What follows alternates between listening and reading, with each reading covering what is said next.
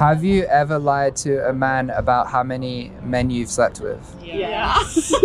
yeah. Actually have. Have you ever heard a woman say that it's okay for her to lie about her sexual past because if men didn't slut shame women, they wouldn't need to lie? If you've never heard a woman propose this type of morality, well, you're about to.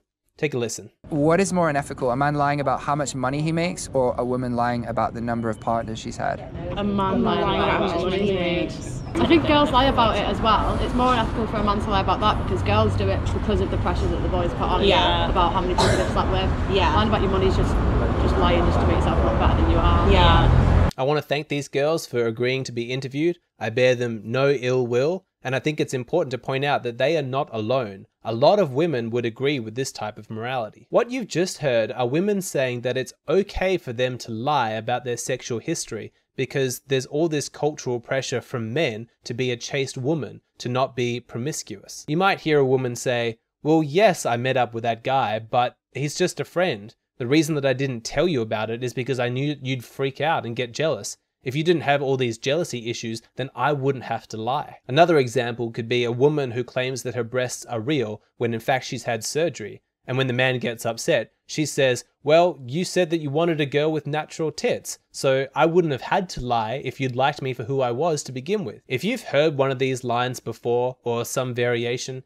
and you've fallen victim to this kind of false morality, I'm going to explain exactly why the logic that they're using is flawed so that you never fall victim to it again. Let's first break down this whole morality of the ends justify the means. A woman saying, well, yes, I lied about how many men that I'd been with, but you said that you wanted a chaste woman, somebody who didn't have too many men in their sexual past. And so when I told you that I'd been very reserved in my sexual history, you were happy, and I wanted to make you happy, therefore I was justified in lying. The problem with an ends justify the means morality is the question of who gets to decide what the ideal ends are. In those situations, the woman decides. She says what the ideal outcome was, but it's not her place to do so. She may say, But you're happy. I just wanted to make you happy. Isn't that the good thing?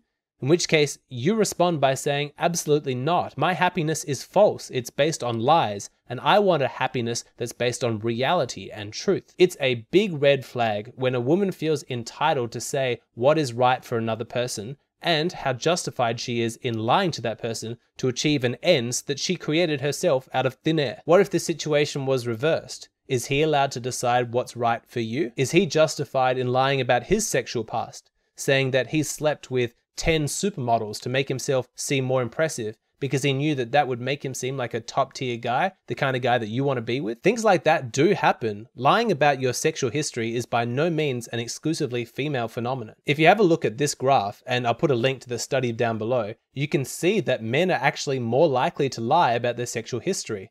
Women tell the truth 67% of the time, whereas men only 58% of the time. So, in that situation, is he justified in lying to you because he knows that you want a desirable man as your partner? No, of course not, because it's not his place to make that decision. You get to decide what's right for you. What you want is a genuinely top tier guy, a man who's sincerely desirable, not just a good liar and somebody who's good at manipulating a situation to make himself appear a certain way. You decide what's right for you, and he decides what's right for him. It's individual determination. So it is entirely inappropriate as a woman to lie about your sexual history simply because you know that the man you're speaking to would prefer if you hadn't had such a colorful sexual past. His desire for a chaste woman does not give you permission to lie. If you do, then you are committing an immoral act. You are committing fraud. You are stealing from him the opportunity to find a partner more in line with what his actual preferences are. Now, the other line of morality that you might hear in situations like this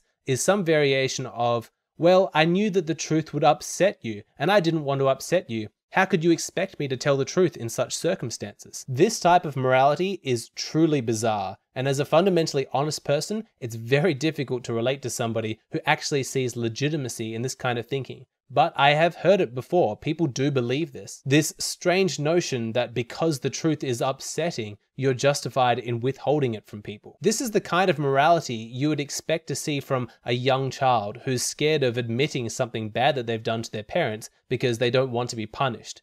People should have outgrown this by the time they're adults. So if you have a woman in your life who has this kind of morality, who applies this type of thinking, be extremely concerned. That is a big red flag. Yes, a man might be upset if he discovers that you've slept with lots and lots of men in your past. He might be worried about your quality as a woman. He might be worried about your character, your wisdom, about your ability to bond. He's upset at getting this news and he has every right to an emotional response.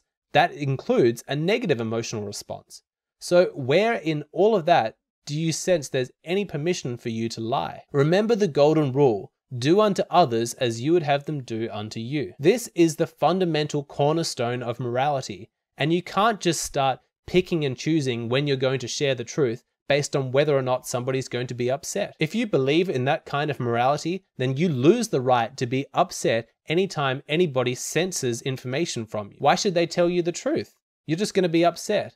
They are completely justified in lying to you. And if you object to that, then you're a hypocrite. So, despite this ridiculousness, there are actually people who believe it. People who get caught lying, and their defense is, well, of course I lied. Look at how upset you are. If you didn't have such a negative emotional response, I wouldn't have had to lie. I'm the victim here. Do not buy into that kind of rationalization. It is pure and utter nonsense. Now, there may be times when somebody overreacts when they're told the truth, when they get really upset, maybe even violent. That is a serious problem, but the solution is to leave the relationship. Do not spend time with somebody like that. The solution isn't to lie to that person. Two wrongs do not make a right. And the moment that you lie, you compromise your conscience and you lose the moral high ground. So do not let anybody try and justify their lies by saying that your response is to blame, saying that you should be ashamed of yourself because you got emotional, as if in some kind of twisted way you deserve to be lied to and manipulated. Life is too short and too precious to spend any time with dishonest people.